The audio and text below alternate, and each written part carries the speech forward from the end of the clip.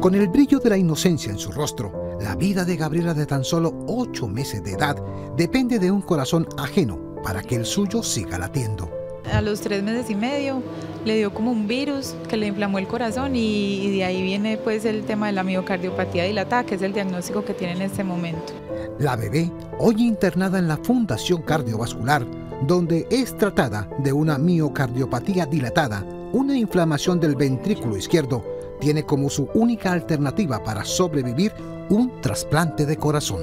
El corazón está muy grande y está muy débil para ejercer el trabajo que tiene que hacer día a día.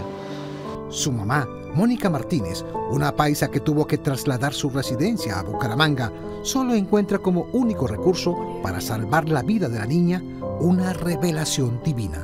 Eso es muy difícil, pero digamos que muy esperanzados porque hemos visto muchos casos de éxito y bueno, siempre Dios por delante y que sea su voluntad. De todas maneras en manos de Él está y, y tenemos la fe que Gabriela va a tener una vida larga y saludable.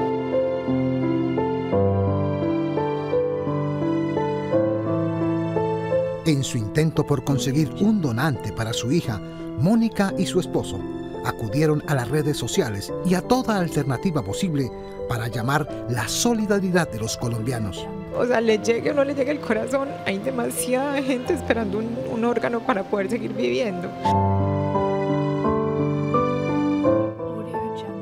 La bebé es la primera en la lista de donación de corazón en Colombia. Ahora solo resta esperar a que suceda el milagro.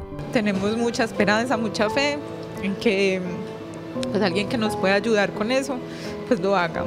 Una familia, unos papás que desgraciadamente pierdan su hijo, que tengan la conciencia y nos puedan ayudar.